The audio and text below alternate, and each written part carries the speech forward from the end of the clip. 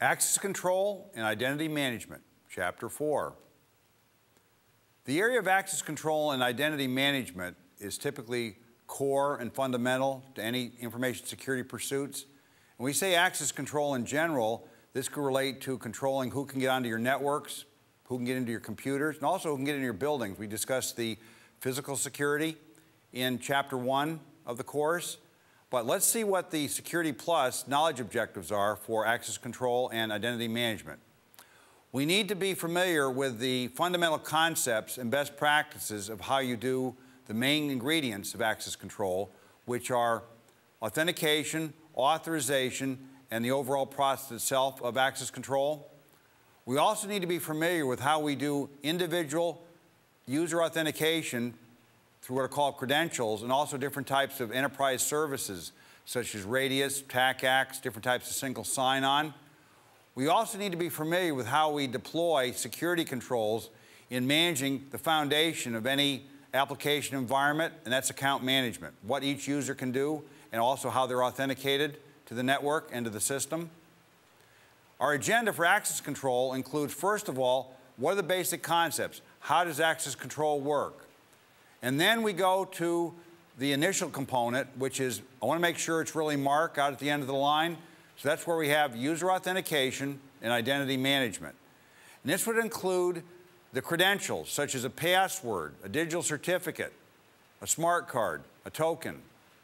And then how could Mark sign on once and be automatically authenticated to, say, the 10 applications he has to use every day at work? That would be single sign on, sometimes referred to as reduced sign on. And then, how do we authenticate users coming over a network? And two prominent protocols were used in the past, PAP and CHAP, and also modern day EAP. We're going to find out all about those in this chapter. And then carrying the concepts of extensible authentication protocol, EAP, forward, we're going to look at AAA. AAA, in terms of network vernacular, is authentication, authorization, and accounting. You could say that AAA is what network people call access control. Data access control is the next step. Once I know it's Mark, then I need to figure out what he's authorized to access. In today's world, with more and more of the computing being over distributed protocols, we have to have a way to centrally manage user credentials and also their authorization privileges. And that's where the lightweight directory access protocol, directory services, such as those found in Active Directory, come into play. As I mentioned before, when we actually bring this down to the grassroots of applying it in an organization, there are important things we have to do with user accounts. For example, if they have high privilege, they have to be held to a higher standard in terms of, for example, how often they have to change their password. And then we'll wrap up the chapter and also give you opportunities to review and reinforce your understanding of access control with free practice tests and other review questions. So what's the purpose of access control? We want to make sure that authorized, again, keyword authorized users, programs, or other computer systems, for example, those in the network, can observe, modify, or otherwise take possession of a computer system. Only authorized users can use the data resources. We also want to limit what those users can get to when they get on a particular computer system so they don't have blanket access or full admin rights if it's not required by their job. And we should always consider access control to be the first line of defense against unauthorized entry, access, and use, and also abuse, if you will.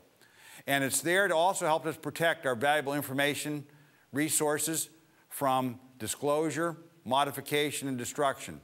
Remember, in chapter one, we started the course with the security triad. Confidentiality. The enemy of confidentiality is unauthorized disclosure. Integrity.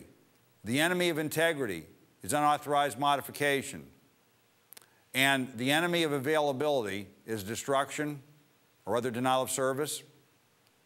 Now, we start our access control deployment with a policy. We have to figure out what our goals are in determining who can get to what resources within our network and our computing environment. To review some of the concepts we covered in Chapter 1, which are fundamental to access control, one of the hot buttons with IT auditors throughout the world, and also for that matter, financial auditors, separation of duties. You divide the roles and responsibilities of different individuals so that one task is not done from start to finish by one individual. Examples of lack of separation of duties is if developers and QA come under one regime or security and developers, they need to be separate. So security, who would review the secure design of applications, for example, must not come under the same division head as the developers.